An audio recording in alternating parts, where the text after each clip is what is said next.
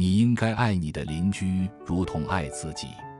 犹太文化中有一个故事，讲述两个学者争论关于犹太律法的重要性。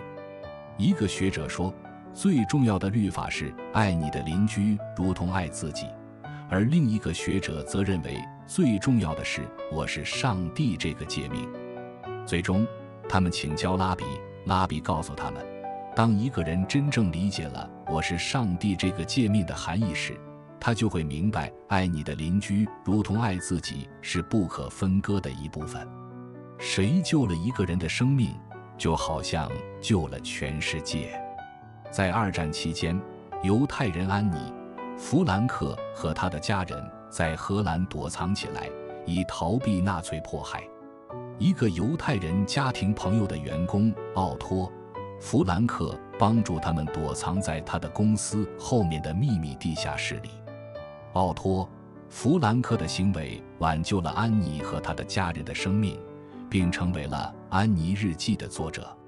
如果我不是为自己，那么谁为我？如果我只为自己，那么我是什么？如果不是现在，那么什么时候？希勒尔是一位哲学家和犹太教法学家。他的教导强调了个人责任和行动的重要性。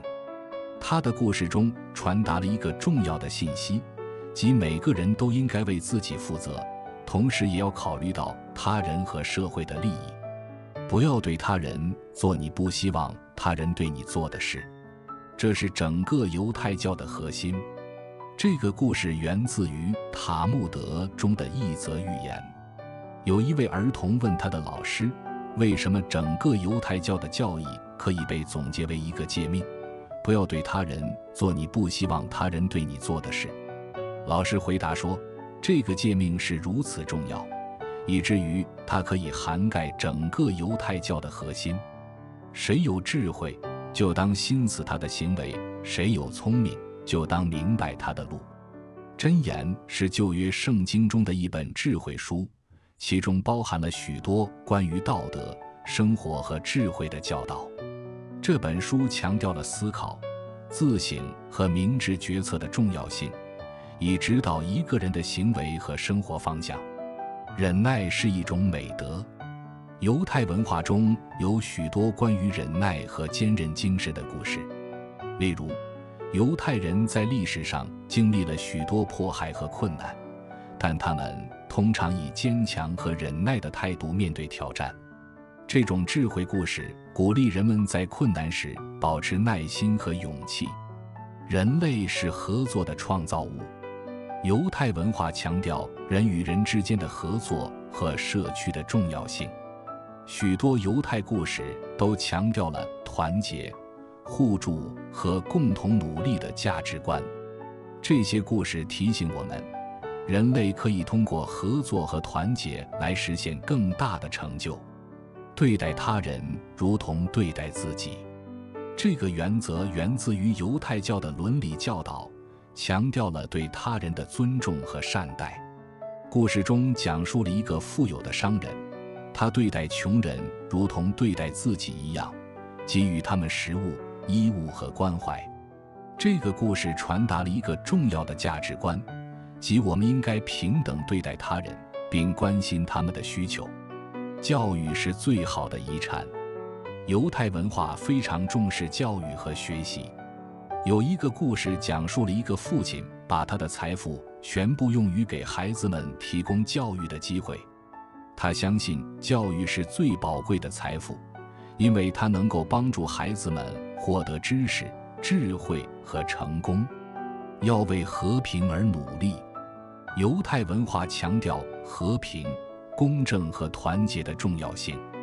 有一个故事讲述了两个邻居之间的争执，他们互相责备对方。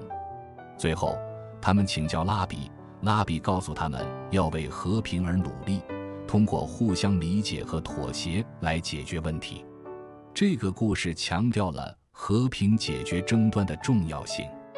分享是一种美德。犹太文化中有许多关于分享和慷慨的故事，其中一个故事讲述了一个富有的商人，他慷慨地分享食物、财富和资源给需要的人。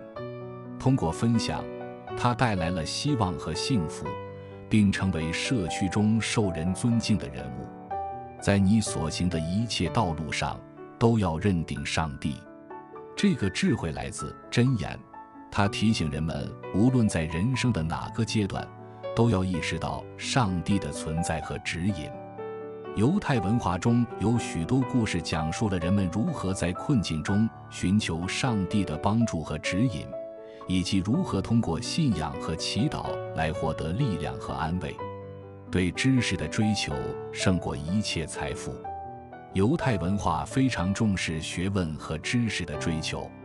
有一个故事讲述了一个年轻人放弃了财富和物质追求，而选择投入时间和精力来学习和获取知识。他相信知识是一种无价的财富，它能够给予他智慧和成长，为他人做好事而不指望回报。犹太文化中有许多关于慈善和善行的故事，其中一个故事讲述了一个人在寒冷的冬天为他人生火取暖，而不指望任何回报。通过这个无私的行为，他带来了温暖和希望，同时也激励了其他人去关心和帮助他人，尊重和保护生命。犹太文化中非常重视生命的尊重和保护。有一个故事讲述了一个人救了一只小鸟的生命，因为他相信每一个生命都是宝贵的。这个故事强调了人类对生命的责任和尊重，无论是人类还是其他生物。